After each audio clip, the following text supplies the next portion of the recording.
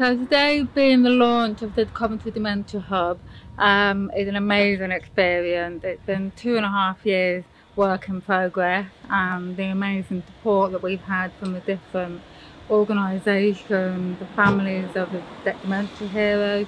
A great feeling, absolute great feeling. I really think that this is the way forward. I really think that in years to come people will recognise the hub as the go-to place for dementia, which is the whole aim of the survey, is that in years to come that somebody has a query about dementia will know and think, oh, that place in Holbrook, I'll pop in there.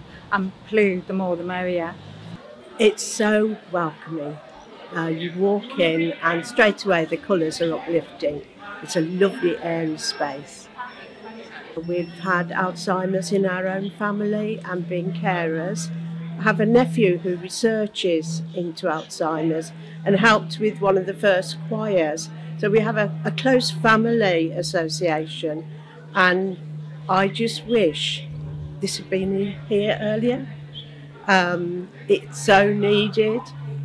I'm just in awe of the dementia heroes.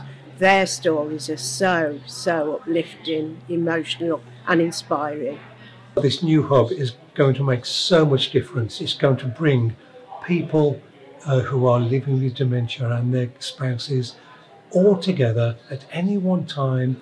They can talk to each other, they can realise they're not on their own, there's other people who are in the same boat, and all the connecting facilities, Age Concern, Alzheimer's Society, we're all pulling in the same direction, and this hub brings everyone together. You know, I've been doing it for 10 years, the Singing for the Brain, and working alongside the Alzheimer's Society. It's because it was something I could do and I could give something back. And it's like all these heroes, uh, we've all done it for no recognition, just because we can. And to be quite honest, I always think the heroes are the, the people who are living with dementia and their carers. They're the heroes. Uh, and they, you know, they need the recognition this dementia hub, you know, nobody else has done it, but Coventry is doing it, and Coventry are so um, elite, I think, in in all of that. Um, you know, they're trying their best to work alongside people living with dementia, and they work well. You know, with people, outreach workers working from here, with people in community that are still in community, and this allows people to continue to be in, in society rather than you know in the olden days you were if you were put down as having dementia you were written off. And this isn't this is a beacon of hope and light for the future